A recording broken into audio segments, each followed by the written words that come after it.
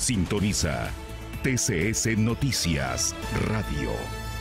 Autoridades de seguridad pública, la embajadora de Estados Unidos y la procuradora de los derechos humanos inauguraron la unidad de asuntos internos de la Policía Nacional Civil, en la que se investigarán delitos y actos de corrupción en que salgan involucrados efectivos policiales.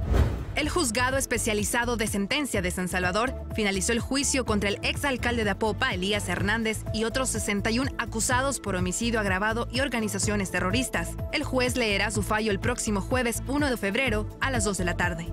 Los magistrados del Tribunal Supremo Electoral aseguran que el caos de conteo de votos que hubo en San Salvador tras las elecciones de diputados en el 2015 no se repetirá gracias a la tecnología coreana donada para procesar actas electorales. La poetisa nicaragüense de madre salvadoreña Claribel Alegría murió ayer a los 93 años en Managua. Fue la primera mujer centroamericana que ganó el premio Reina Sofía de Poesía Iberoamericana 2017, que reconoció su obra literaria de más de siete décadas.